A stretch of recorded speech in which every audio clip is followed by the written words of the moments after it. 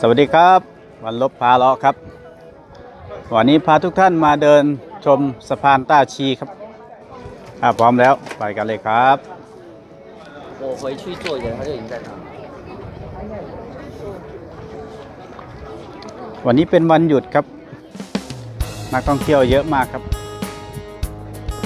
สะพานแห่งนี้เวลากลางคืนจะเปิดไฟครับทำให้มองดูสวยงามมากครับ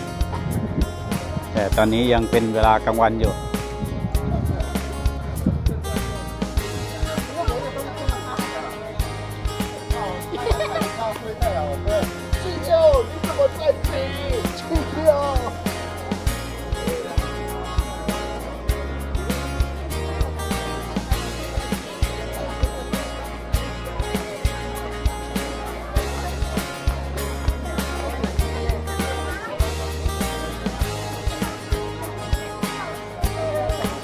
สวยข้างหน้าจะมีอะไรพิเศษครับ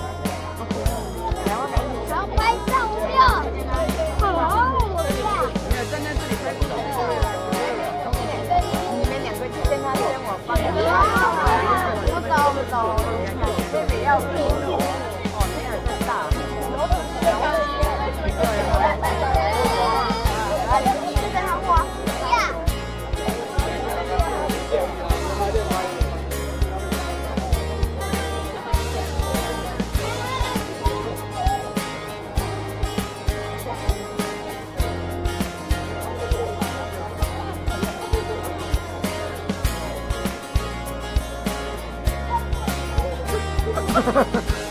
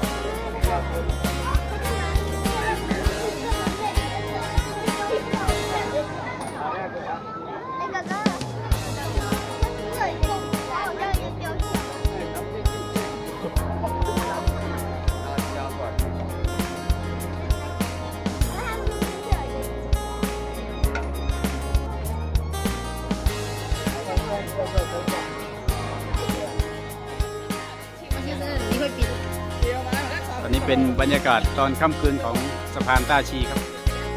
ไฟเริ่มสว่างแล้ว